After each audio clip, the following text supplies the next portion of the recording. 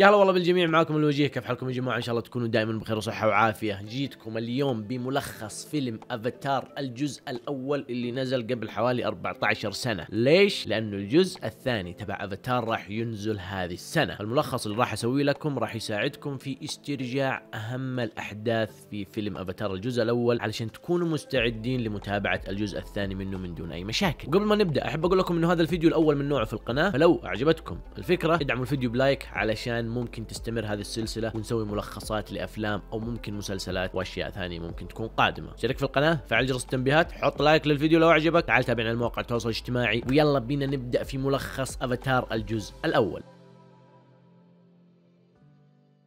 جيك. إنسان عنده شلل نصفي وحياته جدا بائسة. فقد رجوله لما كان في الجيش وهو الآن متقاعد وما عنده أي حياة. ويعيش في عالم متقدم جدا في التكنولوجيا والعلم واستكشاف الفضاء الخارجي. جيك عنده أخ توأم اسمه توم وهو عالم مهتم في تطوير واستخدام الأفاتارات. والأفاتارات يا جماعة هي أجسام ممزوجة بالحمض النووي البشري والحمض النووي لمخلوقات فضائية اسمها نافي. صنعها البشر عشان يقدرون يتواصلون مع مخلوقات النافي في كوكب بندورا يجي اثنين مسؤولين لجيك ويقولوا له أخوك التوأم سرق أحد الحرامية محفظته وقتله. يب أخوك التوأم ميت. وبحكم إن أخوك توم كان جزء من مشروع أفاتار وحمضك النووي متطابق معاه نبغاك تأخذ محله وتكون أنت الأفاتار. وبنعطيك فلوس مرة كثيرة وبنرجع لك رجولك. بحكم إنه ما عنده أي مشكلة وافق وقال وأنا خسران إيش؟ وبحكم إني مشلول نصفيا فراح أقدر أمشي على رجولي لو اندمجت مع الأفاتار. ينطلق توم بكرسيه المتحرك في رحلة في الفضاء مدتها خمس سنوات وكم شهر تقريبا. وبحكم إنه الأفاتار مصنوع من الحمض النووي لأخوه توم التوأم فالأفاتار يكون يشبه الشخص اللي بيندمج معاه بشكل جدا كبير من ناحية الملامح. ولكن بحكم إنه الأفاتار مصنوع ليطابق هيئة مخلوقات النافي فحجمه وقوته مختلفة بشكل كبير. كوكب بندورا يا جماعة بعيد عن كوكب الأرض بسنوات ضوئية كثيرة. وصل البشر لهذا الكوكب لأغراض بحثية واستكشافية وبنوا قواعد عسكرية ومختبرات ومخيمات من فترة طويلة جدا. ولكن بدأت تصير لهم مشاكل مع السكان الأصليين لهذا الكوكب اللي هم مخلوقات النافي. بعد كده عندنا الدكتورة جريس أوغستين قائدة قسم الأفاتار ومهتمة في النباتات والأحياء في كوكب بندورا أكثر من أي شيء ثاني. فاهمه جدا لغة مخلوقات النافي وعندها خبرة في الاندماج مع مخلوقات النافي. ولكنها مرة زعلانة انه جيك جاء بدال أخوها الميت توم. وليش جيك الجاهل الغير متعلم المشلول يجي في مهمة كبيرة كذا؟ باركر يا جماعة هو الشخص اللي رتب هذه الفرصة للمشلول جيك. والدكتورة جريس راحت تهزئه وليش توظف واحد جاهل ما يدري وين الله حاطه في شغلة كبيرة زي كذا؟ قال لها عندنا أفاتار زايد الآن والشخص الوحيد اللي حمضه النووي قابل للاندماج مع هذا الأفاتار هو جيك. وفرصة مرة حلوة إنه توم الميت طلع عنده أخ توأم. بعدين وش يهمك في الخبرة والكلام الفاضي. انت همك انك تروح تقابلي الشعب النافي تعاوني معاهم وتكسبي ثقتهم. وهالشيء حصل. اندمجتي معاهم وإحنا بنينا لهم مدارس وعلمناهم اللغة الإنجليزية. ترد عليها الدكتورة وتقول له والحين صاروا يحسوا بالخطر الشعب النافي لانك قررت تدخل عليهم بالأسلحة بدون سبب وتسرق منهم معدن اسمه أوبتينيوم. يرد عليها ويقول لها yep أوبتينيوم هذا همنا الوحيد. الكيلو الواحد منه يسوى 20 مليون دولار أمريكي على الأرض وشعب النافي لما شافونا ناخذ هذا المعدن بدأوا في محاربتنا. وأنت وظيفتك الآن تدوري حل دبلوماسي معهم علشان لا تقوم بيننا وبينهم حرب. فلا تشغلين بتوم الميت حقك وأخوها التوأم المشلول جيك. ركزي في شغلك والأمور بتمشي. ينطلق جيك ومعاه زميل أخوه والدكتورة جريس في أول رحلة له في الاندماج مع الأفاتار ويبدو إنه ما هو شايل هم أصلا وفعلا معطيهم وضعية إنه مش خسران حاجة. ويتم نقل وعيه مباشرة إلى الأفاتار بنجاح ولكن يواجه شوية مشاكل في البداية في استيعاب إنه الآن في جسد غير جسده. وتمشي الأمور في النهاية. الولد مبسوط إنه صار عنده رجول ويقدر يمشي أخيرا. معلومه مهمة يا جماعة. بمجرد ما ينام الأفاتار جيك الحقيقي يصحى. المهم بعد ما صحي جيك راح وقابل العقيد اللي ما يهمه حياة الشعب النافي ولا شيء غير يحقق أهداف. ويطلب منه إنه يختلط بشعب النافي ويكسب ثقتهم لما يلبس الأفاتار. ويقول له أباك تعرف نقاط ضعفهم وقوتهم وكل أسرارهم. لو ساعدتني راح أضمن لك إنك تحصل على العملية اللي ترجع لك رجولك سليمة لما نوصل للأرض أو أخليها تجيك لين هنا للكوكب. جيك يقول للعقيد okay سمعا وطاعة. يرجع جيك للأفاتار تبعه وينطلق في أول مهمة له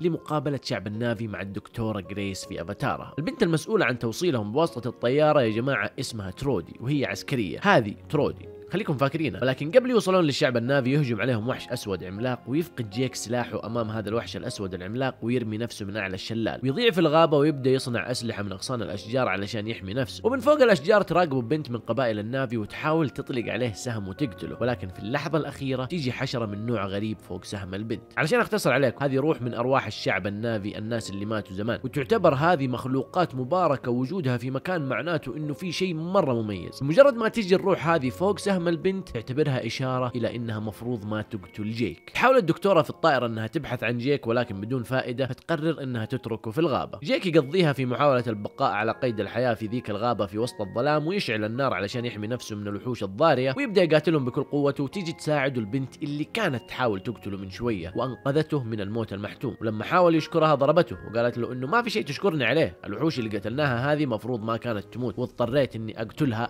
بسببك معلومة مهمة برضو لازم تعرفوها جماعة الشعب النافي بينهم وبين الغابة ومخلوقاتها علاقة جدا قوية روحية ووجودية. حتى لما يصطادوا فرائسهم يكونوا جدا حزينين لأنهم اضطروا يقتلوها. يقول لها توم ليش ساعدتيني؟ ليش ما خليت الوحوش يقتلوني؟ تقول له لأنه قلبك قوي وشجاع ولكنك ساذج ومتهور زي الأطفال. كمان الآلهة آيوة أعطتها إشارة. لا تنسوا. وفجأة تنزل عليها الحشرات هذيك أو أرواح الشعب النافي وتجتمع فوقه. وهنا تأكدت البنت هذيك إنه جيك شخص مميز ومختلف عن غيره وتقرر إنها تاخذه معاها وتساعده. وفجأة أول ما وصل للقرية يهجم عليه حراس النافي ويطيحوه وتيجي البنت ثاني مرة وتدافع عنه. تقول لهم يا جماعة الإنسان هذا اسمه جيك شخص مميز وأرواح الشعب النافي والآلهة آيوة جالسة تعطيني إشارات إني ما أقتله. فيأخذوه ويودوه عند شيخ القبيلة اللي هو أبو البنت. يزعل منها أبوها ويقول لها ليش جبتي لنا هذا الشيطان هنا؟ تقول له آيوه الآلهة. أعطتني إشارة إني ما أقتله وإنه شخص مميز. آيوا يا جماعة في حال أنكم ناسين هي الآلهة للشعب النافي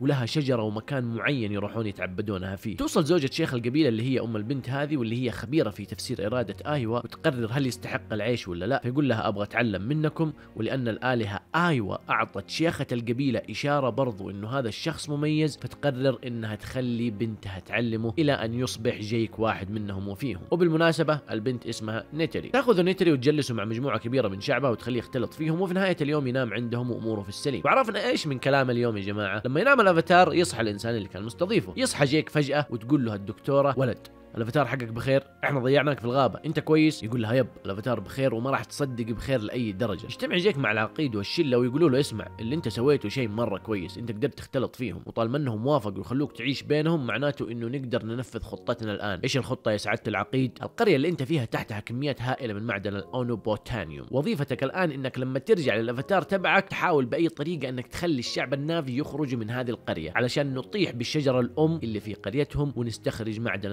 الاونوبوتانيوم اللي تحتهم براحتنا. كيف؟ شلون؟ إزاي؟ How؟ تصرف. خليهم يمشوا. الشجرة الأم شيء يا جماعة وشجرة الآلهة آيوا شيء ثاني. الشجرة الأم هي المكان اللي عايشين تحتها. وحوالينها الشعب النافي. شجرة الآلهة آيوا هي مكان يروحوا يتعبدوا فيه. جيك يقول لهم okay يلا رجعوني على الأفاتار تبعي علشان ما نضيع وقت. كمل نتري تعليمه كيف يركب المخلوقات تبعهم الأشبه بالخيول ولو ناسين مخلوقات النافي عندهم ضفاير في شعرهم وفيها زي المستشعرات تخليهم يرتبطون بحيواناتهم وبزوجاتهم وبأي شيء حوالينهم. ومسألة زي كذا مو أي واحد يتقنها. فبدأ يتدرب جيك كيف يرتبط مع الحيوانات بهذه الطريقة ومع الوقت أتقنها وبسرعة لأنه الآلهة. آيوا اختارت هذا الولد لأنه مرة فنان. وفي رحلة ثانية تأخذ نتري إلى عش التنانين هم مش تنانين هم اسمهم إيكرون ولكن بنقول لهم تنانين. المهم تعلموا أن امتطاء التنانين هذه ما هو مثل الأحصنة. الحصان أي واحد خبير ممكن يمتطيه ويرتبط فيه. لكن التنانين إذا ارتبطت بشخص لمرة مستحيل ترضى أي شخص ثاني يرتبط فيها للأبد. ليش؟ هم نظامهم كذا. وتقول له يلا لازم تبدأ تبحث عن التنين الخاص فيك. وتحاول تروضه بأي شكل من الأشكال وترتبط فيه. بنرجع للموضوع هذا بعدين. تعلموا الرماية والصيد واستخدام أسلحتهم. تعلموا الركض والتنقل. بين الأشجار وشوية مهارات ثانية يحتاجها. كيف يستخدم حواسه بكل قوتها؟ حاجة مهمة لازم نعرفها يا جماعة الدكتورة جريس مرة طيبة ونواياها حسنة تجاه الشعب النافي. عكس العقيد والشلة هدفهم الحصول على موارد النافي لا أكثر سواء بالطيب أو بالغصب أو حتى بالسلاح والقتل. ولكن بالنسبة لجيك نواياه للحين مش واضحة. يبغى يخدم العقيد وكمان يبغى يخدم الدكتورة. يبغى يستغل الشعب النافي وكمان يبغى يساعدهم. وفي نفس الوقت جيك بدأ يكون مشاعر تجاه نيتري yep. صار يحبها. وبعد فترة طويلة من التدريب نيتري تقول لجيك أنت الآن جاهز أنت الآن واحد مننا. ليش؟ لأن الآلهة آيوا أعطتهم إشارة في البداية. وبطريقة ما يا جماعة جيك شخص مميز عند آلهة النافي آيوا. جاء الوقت لجيك إنه يبحث عن تنينه الخاص. وتقول له نيتري لا تختار أي تنين بشكل عشوائي. ابحث عن التنين اللي يحاول يقتلك وإذا لقيته هذا هو التنين المناسب لك. وبالفعل يلقى جيك التنين المناسب له وبعد صراع هو التنين قدر إنه يرتبط معاه ويروضه. ونجح جيك في ترويض التنين بسرعة ووقت قياسي. وصار جيك محترف في كل شيء في الصيد والفضاء الفروسية وركوب التنانين. ولكن أثناء تجوله في السماء هو ونيتري بالتنانين هجم عليهم تنين جدا ضخم. ما هو مثل تنانينهم الصغيرة. تنين ضخم عملاق متوحش وقدروا إنهم يهربوا منه. هذا التنين يا جماعة ما حد يقدر يروضه. آخر واحد روض تنين مشابه له مات قبل سنوات طويلة. التنين هذا يا جماعة بمثابة بوغاتي وباقي التنانين الصغيرة بمثابة سيارات تويوتا عادية. ممكن نقدر نوفر سيارة تويوتا عادية لكن صعب نجيب بوغاتي. يجلس جيك مع العقيد ويقول له العقيد شكلك بديت تنسى مهمتك الأساسية يا جيك. يرد عليه جيك ويقول له باقي لي بس خطوة نهائية معاهم وبعدها أصير واحد منهم 100% وأكسب ثقتهم وبعدها ببدأ أحاول أخرجهم من أرضهم علشان تأخذ ثرواتهم براحتكم. ولكن العقيد ما عجبه الكلام وكان عنده خطة شريرة لأنه شاف كلام ثاني في عيون جيك. يرجع جيك للأفاتار وتبدأ مراسم إعلان جيك كواحد من عشيرة النافي ويصير جيك رسميا عضو رسمي في عشيرة النافي ويبارك له شعب النافي وتزيد مشاعره تجاه نيتري وهي كمان تبدأ تبادله نفس الشعور. تأخذ نيتري لشجرة الآلهة آيوا وتقول له الآن أنت مننا وفينا وتقدر تختار زوجتك. في واحدة تعرف تغني ممكن نزوجك. إياها. في واحدة مرة صيادة نزوجك إياها ولكنه يقول لها لا أنا اخترتك أنت يا نيتري. ونيتري ترد وتقول له وأنا كمان اخترتك. و boom شيل واحدة زوجه يا مدير ويربط ضفيرته بضفيرتها وتعلنهم الآلهة آيوا زوجا وزوجة. boom انتهى المشهد بعد شوية قلة حيا. جيك يصحى في جسده الإنساني ويبدأ يسأل نفسه وش صار علي؟ وش قاعد أسوي؟ هل نسيت إني إنسان؟ هل معقوله أنا صرت من الشعب النافي فعلا خلاص؟ وقبل يرجع للافاتار تبعه تصحى نيتري وهي في حضنه وتلاقي العقيد وجيشه بدأوا في غزو قرية النافي، تحاول نيتري تصحي أفاتار جيك ولكن جيك برا جهاز الربط وجالس يفطر بجسمه الانساني مو داري عنها، وفي اللحظة الأخيرة يصحى جيك ويبدأ يهاجم عربات الجيش ومدرعاتهم ولكن دون فائدة، يهرب جيك هو ونيتري ويكتشف العقيد إن اللي حاول يوقفهم هو جيك، يعرف وقتها العقيد إنه جيك خانه وينطلق بطائرة وجيش بسيط علشان يحط حد لمهزلة جيك، تبدأ عشيرة النافي بجمع جيشها والاستعداد للمعركة ويعلن جيك ونيتري إنهم تزوجوا ببركات الآلهة. آيوا وسط الزحمة هذيك. وهالشي خلى عشيرة النافي يزعلون وينفجرون غضب. okay نعلم ونسمع كلام الآلهة. آيوا بس ما نزوجه. هذا شيطان. وتبدأ معركة بينه وبين الشخص اللي كان حاط عينه على نتري. ويرفض جيك القتال بحجة إنه ما هو عدوه وإن العدو هم البشر ولازم نتحد علشان نوقفهم. يوصل العقيد لحجرة أجهزة ربط البشر بالأفاتار ويقطع اتصال جيك والدكتورة بأفاتاراتهم. وتسقط أفاتاراتهم ويحاولون الشعب النافي إنهم يقتلون. جيك ولكن نيتري تمنعه. يخرج العقيد جسم جيك من جهاز الاتصال هو والدكتورة ويربطهم ويدخلهم السجن. يصحى جيك والدكتورة في حضرة العقيد والشلة وتقول لهم الدكتورة إن النافي وغابتهم بينهم علاقة وطيدة علاقة حقيقية. الغابة بالنسبة لهم كائن حي مرتبط فيهم. فيها ذكرياتهم وأسلافهم وكل حكاياتهم وتاريخهم. عشان تاخذ اللي تبغاه منهم لازم تفهمهم. ولكن العقيد يقرر إنه هذا كلام فاضي وهطرقة والشجرة المباركة حقتهم هذه مجرد شجرة وبتنزاح من مكانها بأي شكل من الأشكال. وتبدأ معركة رسمية بين البشر وبين عشائر النافي. مات فيها بشر ومات فيها عدد من شعب النافي. يرجع العقيد ويجمع جيش كبير جدا ويتوجه للشجرة الأم تبع النافي اللي تحتها كل المعادن الثمينة اللي يحتاجوها ويقرر إنه يهدمها حتى لو اضطر إنه يقتل كل عشيرة النافي. جيك والدكتورة قدروا يقنعوا الرئيس إنه يرجعهم لأفاتاراتهم. يروحوا يحاولون يقنعون شعب النافي إنهم يبعدون عن الشجرة علشان لا يموتوا. ويوافق الرئيس ويرجعهم لأفاتاراتهم ويقول لهم معاكم ساعة واحدة بس. إذا ما قدرتوا تقنعوهم يبعدوا عن الشجرة الأم ترى راح ندعسكم أنتم وياهم. يرجع جيك بالأفاتار للشعب النافي ويحاول يقنعهم إنهم يهربوا عن الشجره الأم ويعترف لهم إنه كان عميل وإنه هذا هدفه من البداية. تزعل منه نتري وتهزئه حاول يقنعها إنه تغير وإنه الهدف هذاك كان من الماضي وإنه الآن يحبها ويعتبر نفسه واحد منهم ولكن بدون فائدة. ويطلب شيخ النافي إنهم يقيدون أفاتار جيك هو والدكتورة. قرر الشعب النافي إنهم ما راح يهربون وراح يحاربون علشان الشجرة الأم ويستعدون لمعركة كبيرة بينهم وبين البشر. معركة ضخمة بدأت مات بها من مات وعاش بها من عاش. قذائف قنابل متفجرات نيران وكل شيء. وللأسف سقطت الشجرة الأم بعد ما كانت واقفة لملايين السنوات تحت بكاء وصرخات الشعب النافي بسبب البشر الحمقى اللي عاثوا في الأرض فسادا وراحوا لكوكب ثاني عشان يعيثوا فيه فساد.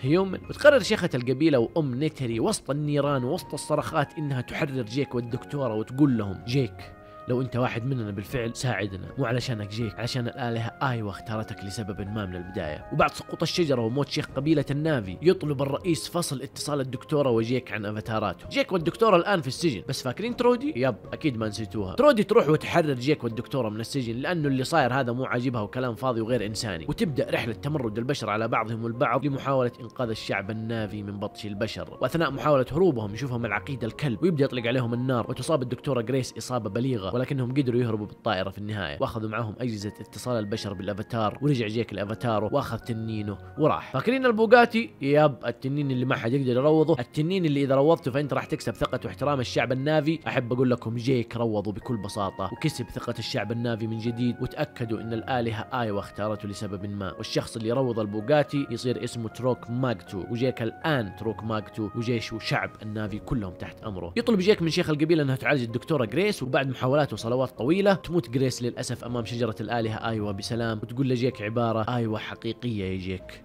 مش خيال. بخطاب تحفيزي من جيك لشعب النافي يقنعهم إنه آن الأوان للتكاتف وإيقاف البشر عند حدهم. ويوافق الشعب النافي ويتخذون جيك قائد لهم. ويحلقون في السماء عاليا معاه بتنانينهم. أو خلونا نقول بسيارات تويوتا تبعهم. وهو بالبوغاتي. وحطوا ببالكم يا جماعة. كوكب بندورة مليان عشائر وشعوب. ولأن جيك معاه بوغاتي الكل وافق إنه يحارب معاه. كل العشائر وكل شعب بندورة صاروا تحت. أمره. قرر العقيد إنه لازم يهجم بجيشه ويدمر شجرة آيوا لأنه يعتقد إنه لو دمرها راح يدمر كل شيء يؤمنوا فيه الشعب النافي وبعدها يقدر يأخذ منهم كل المعادن الثمينة من هذا الكوكب. وتبدأ معركة طاحنة بين البشر وبين الشعب النافي مات بها من مات وعاش بها من عاش ومات فيها كمان التنين تبع نتري ومات برضه الوريث الأول لشيخ قبيلة النافي وماتت برضه ترودي قائدة الطيارة. جيك بالبوغاتي والشعب النافي بالتويوتا ومقاتلين بالأحصنة. جيش مكون من حوالي 2000 مقاتل تحت قيادة جيك. ولكن للأسف البشر كانوا على وشك الانتصار. ولكن في اللحظة الأخيرة الآلهة آيوا أرسلت وحوش الغابة وأحصنتها وطيورها وديناصوراتها وتنانينها. كل مخلوقات الغابة صارت تقاتل مع الشعب النافي. بل إن بعض الوحوش سخرتها آيوا وخلتها تخدم الشعب النافي لأول مرة. ودمروا البشر شر تدمير. انتصر جيك على البشر. وفي معركة أخيرة بين العقيد وجيك مات العقيد بواسطة سهمين أطلقتهم نتري ولكنه قدر يخرج جيك من حجرة الاتصال